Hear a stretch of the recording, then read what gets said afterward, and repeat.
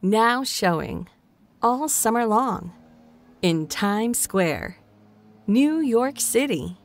A spectacular sight. Stories above the bustling streets. A cop is looking on, a peace officer making the promise. Join us this summer as we come together in peace.